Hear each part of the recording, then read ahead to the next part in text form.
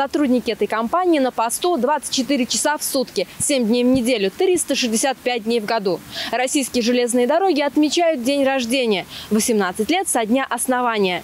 Поздравить ульяновский филиал с праздником приехало руководство нашего региона.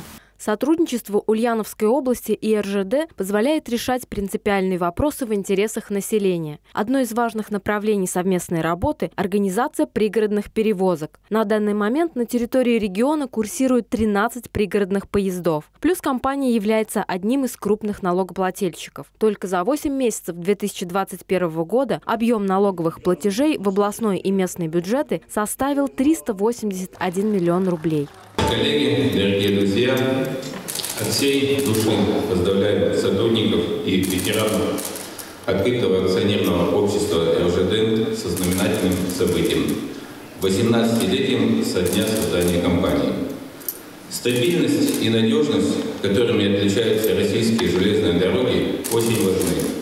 Новые маршруты, современные технологии, комфортные вокзалы. Вот облик российских железных дорог сегодня. На данный момент на Куйбышевской железной дороге обновлен весь парк. Совсем скоро планируется ввести в эксплуатацию двухэтажные вагоны для перевозки пассажиров по маршруту Ульяновск-Москва. Преобразования были непростыми, но в результате построена новая структура с современными принципами управления. При этом мы сохранили наше главное качество, безопасность, доступность, надежность услуг и наших людей. Для нашей страны железнодорожный транспорт всегда имел стратегическое значение, связывая ее территорию в единое целое. За эти годы компания достигла значимых высот. Сегодня трудно представить повседневную жизнь без железнодорожных перевозок. Многие ульяновцы отдали этой отрасли долгие годы.